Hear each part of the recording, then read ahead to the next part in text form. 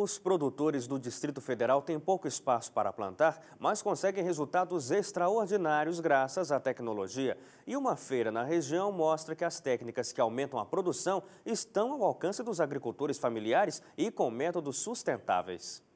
Valdemar produz soja, feijão e milho na área rural de Brasília. Mas nos últimos anos, o trigo tem roubado a cena na região pela alta produtividade. Ele é processado em uma cooperativa e usado em indústrias e padarias do Distrito Federal. O trigo é plantado a partir de maio, agora, abril, maio. Como é uma cultura de, de clima mais frio, e nessa época não chove, então produtores que têm o sistema de irrigação têm essa opção de plantar a cultura do trigo. Não é só o trigo que se destaca na região. A soja, o milho e o sorgo também têm alta produtividade. Mais de 5 mil quilos de grãos são produzidos por hectare. Esse número é 40% maior do que a média nacional e equivalente à de países desenvolvidos. A zona rural do DF ocupa 70% do território. Com o entorno, é considerada a região agrícola mais tecnificada do país. Possui o maior espaço irrigado da América Latina, com mais de 200 mil hectares. Para a safra 2013-2014, a Companhia Nacional de Abastecimento aponta para aumento de 20% no montante de grãos produzidos. O clima bem definido ajuda. São seis meses de chuva e outros seis de seca. Hoje nós temos aqui na região passíveis de serem implantadas 32 culturas de importância econômica, é, que têm o máximo de produtividade com a melhor qualidade possível que a genética lhe, lhe, permite em função dessas características.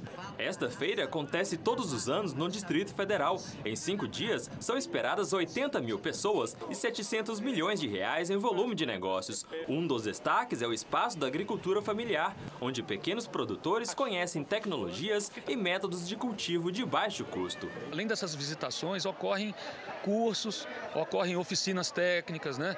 Por exemplo, curso de piscicultura, é, seminários sobre produção animal, produção orgânica animal.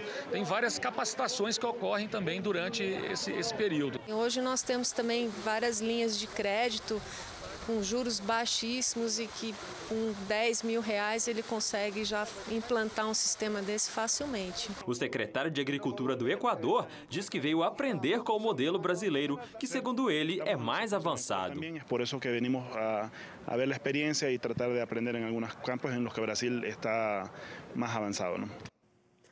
Mais de 85 mil idosos sofreram fraturas no ano passado em todo o Brasil, de acordo com o Ministério da Saúde. Esse número vem aumentando também por causa do maior envelhecimento da população. Por isso, é cada vez mais importante prevenir.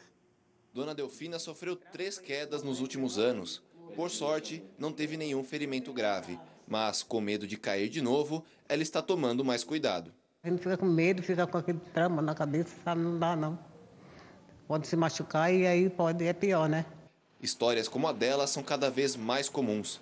Segundo o Ministério da Saúde, o número de fraturas em idosos aumentou 27% no Brasil entre 2008 e 2013, chegando a quase 86 mil casos no ano passado. O envelhecimento da população brasileira traz à tona o risco que as quedas representam para a terceira idade, o tempo parado necessário para se recuperar um osso quebrado acaba atrofiando músculos e trazendo outras complicações. Então, o que você tem que fazer? Uma consulta médica adequada, encaminhar esse paciente para uma atividade física supervisionada e com o objetivo de prevenção de quedas. Este hospital estadual, na zona leste de São Paulo, percebeu o aumento dos casos e começou projetos de prevenção a quedas na terceira idade.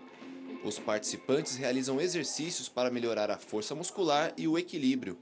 Os coordenadores destacam a importância da manutenção do ritmo de atividades. Esses idosos sempre são encaminhados para a atividade física. Não adianta ele fazer o programa de prevenção durante algum tempo e depois parar.